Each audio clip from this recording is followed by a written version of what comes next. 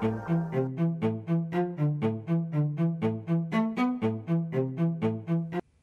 there drone fans, Rick here again from Drone Valley. In today's clip, I'd like to review a tripod mount for your cell phone from a company called Square Jellyfish. that sounds like a funny name for a company, but they make a wide range of mounting solutions for your cell phones that allow you to take it with you when you're out in the field filming. Now I'm doing the clip because a lot of you guys asked me to cover some of the gear that I use when I'm out flying and filming for the afternoon, and this piece in particular has been in my kit since day one. I liked it so much that I actually bought a second one as a spare. And what it allows you to do very quickly and very securely is to mount pretty much any cell phone to a standard tripod thread. So most of the tripods on the market, whether they're small ones like these or large full-size tripods, have a quarter inch thread on the top, which mates up perfectly with the bottom of this. Once that's attached to the tripod, you can snap your phone into it and then film whatever you happen to film. Now, I never used to use my phone a lot to film things, but in recent years, a lot of the cell phones out there have gotten really, really good as far as their cameras. So I use it an awful lot when I'm driving in the car to film clips or when I'm in the field as a second camera. And having a mounting solution that will move between these different tripods is a real advantage. So what I've got here is just an example is I've got a suction mount here from Joby. I use this in my car an awful lot, snap the mount into it when I'm driving around filming portions of a clip explaining what I'm going to do that day. This is another Joby mount that I use in the field. It's got the grippy arms on it so I can hang it on a tree branch or whatever to use it out in the field. And both of these have that quarter inch thread I'd mentioned. Um, let me take a look inside the kit. So it's a very, very basic kit. I'll open it up real quick. What you've got to start with is a manual and the actual mount itself. Now the manual goes through in pretty painstaking detail all the things you can do with it. I'm going to explain those to you in the clip, but it's always good to read through the manual. Here's the mount. Now the mount, again, is very small and compact. I like that about it. It fits in my kit. You almost forget you have it. To use the mount, you flip up these two folding arms, which again fold down for storage, and then your phone, you'll pull these apart, your phone will actually sit down inside there and be cradled by these arms. Now they've built these to be very durable. They've also added some nice rubber on the inside so it's going to grip your phone securely, but it's not going to scratch it up. On the back of it, you've got a knob for adjustment. If you loosen that knob, you can actually position the phone both vertically and horizontally. So no matter how you want to film, you can do that. You'll notice too, if you loosen it up a little bit more, you'll see that there's a bit of an adjustment side to side or up to down, depending on which way you've got it. And that allows you to make the adjustments you need to put it in the exact position for the recording you want to catch. On the bottom of this, like I'd mentioned, there's a quarter inch threaded shaft on there that'll actually fit any of the standard quarter inch mounts. So I'll throw this one on there real quick. And again, when I'm using it in the car, I'll stick that on the windshield, and then I'll spin this thing around as needed to mount my phone. I'll snap my phone in there, and then I can record what I need to record. So it's a very, very handy device.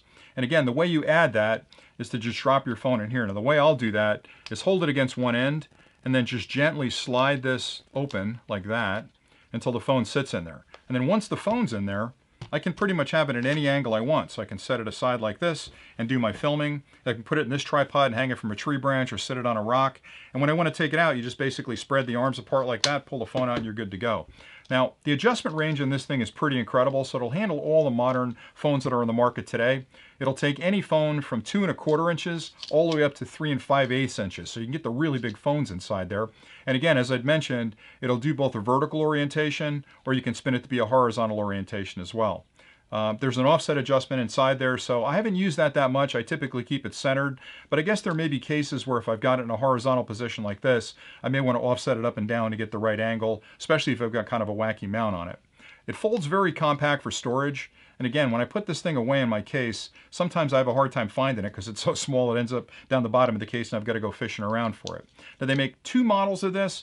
The one I'm showing you here is the Pro model. It's actually got metal all the way in the back, so it's an incredibly durable product. Again, I've had it for quite some time. I've used it almost every time I shoot and bring my phone along. Never had a single problem with it. They make a simpler version of this, which has got a plastic back, but the difference between them in price is about six bucks. This one, the Pro model, which is the best one they make, is about $17. So it's a small investment to actually get this type of versatile mount together. So for me, the difference in price doesn't justify buying the plastic one, but the choice is yours. Depending on your budget and your needs, you probably can choose which one works best for you.